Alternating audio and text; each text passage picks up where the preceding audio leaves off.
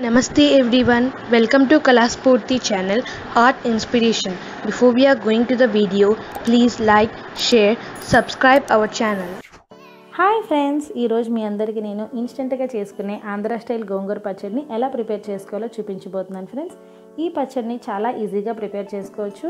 అంతేకాకుండా ఇదివరకే చేసిన ఉసిరికాయ ఇంకా కాలీఫ్లవర్ పచ్చళ్ళు కూడా పైన సజెషన్ బాక్స్లో పెట్టాను ఫ్రెండ్స్. మీరు కనుక చూడనట్టయితే తప్పకుండా ఒకసారి సజెషన్ బాక్స్లో చూడండి.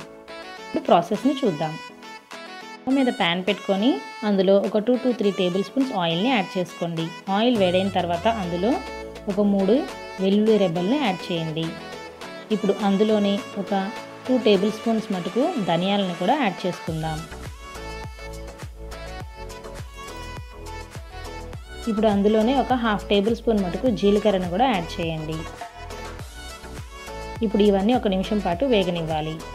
తర్వాత ఇందులో ఒక పది నుంచి ఒక పన్నెండు మటుకు ఎండుమిరపకాయలను కూడా యాడ్ చేసుకోండి.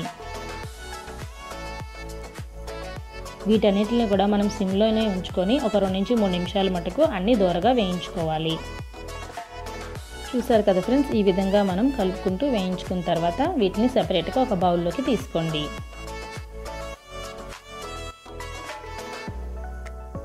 ఈ విధంగా సపరేట్ చేసుకోండి. ఇప్పుడు ప్యాన్లో కొంచెం ఆయిల్ ఆల్రెడీ ఉంది కదా ఫ్రెండ్స్ ఇప్పుడు ఇదే ఆయిల్లో మనం ముందుగా కడిగి పెట్టుకున్న రెండు కట్ల గోంగూరని ఇలా ఆకుల్ని సపరేట్ చేసి మొత్తం యాడ్ చేసుకోండి. ఈ విధంగా మనం మొత్తం గోంగూర మొత్తం యాడ్ చేసుకోవాలి. మనకి చూడడానికి గోంగూర ఇలా ఎక్కువగా కనిపిస్తుంది కానీ ఇది మగ్గిపోతే కనుక బాగా దగ్గరికి వచ్చేస్తుంది. చూసారా? ఇలా రెండు నిమిషాలు మటుకు వేయించుకున్నట్టయితే మనకి గోంగూర అంతా దగ్గరికి వస్తుంది. అప్పుడు దీని మీద మూత పెట్టుకొని ఒక మూడు నిమిషాల పాటు మనం మగ్గించుకుందాం. ఒక మూడు నిమిషాల తర్వాత చూసినట్టయితే చూసారా? మనకి గోంగూర అంతా మగ్గిపోయి దగ్గరికి వచ్చేసింది. ఇలా మూత తీసిన తర్వాత కూడా మరొకసారి కలుపుకొని ఒక రెండు నిమిషాల పాటు మనం వేయించుకున్నట్టయితే ఇందులో ఏదైనా వాటర్ ఉంటే కనుక అది కూడా ఎవాపరేట్ అయిపోయి చక్కగా మగ్గిపోతుంది. గోంగూర మన హెల్త్కి చాలా మంచిది ఫ్రెండ్స్. ఇందులో ఎన్నో పోషక విలువలు ఉన్నాయి ఇందులో iron calcium magnesium potassium folate ఇంకా విటమిన్ బి సిక్స్ ఇంకా విటమిన్ ఏ కూడా ఉన్నాయి ఫ్రెండ్స్. ఇది ఆరోగ్యానికి చాలా మంచిది. సో మనకి గోంగూర దొరికిన రోజుల్లో అన్నా సరే తప్పకుండా ఒకసారన్నా ఈ పచ్చడిని ట్రై చేసి తప్పకుండా చూడండి.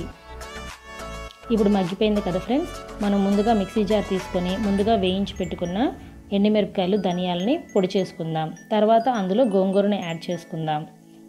ఇప్పుడు అందులో తగినంత సాల్ట్ని యాడ్ చేసుకొని మరొకసారి మిక్సీ పట్టుకొని పక్కన పెట్టుకుందాం. స్టవ్ మీద ప్యాన్ పెట్టుకొని ఇందులో ఒక టేబుల్ స్పూన్ ఆయిల్ని యాడ్ చేసుకోండి. ఆయిల్ వేడైన తర్వాత ఇందులో హాఫ్ స్పూన్ ఆవాలు హాఫ్ స్పూన్ జీలకర్ర ఒక ఎండుమిరపకాయ ఒక హాఫ్ స్పూన్ మటుకు పచ్చెనపప్పు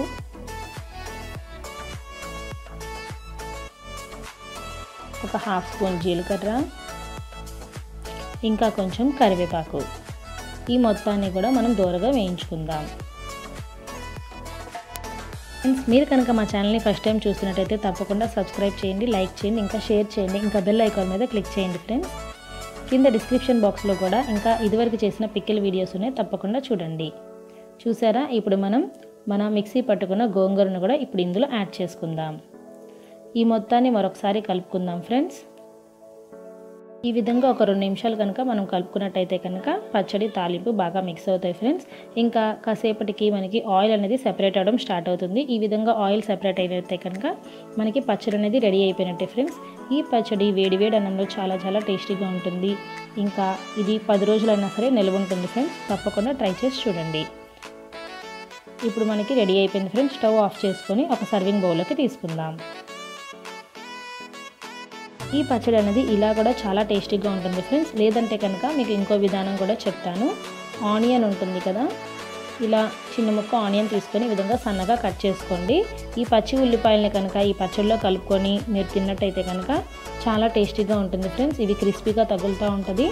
సో ఇది దోశల్లో చపాతీలో అన్నంలో చాలా బాగా టేస్టీగా ఉంటుంది ఫ్రెండ్స్. తప్పకుండా ట్రై చేసి చూడండి. Thank you for watching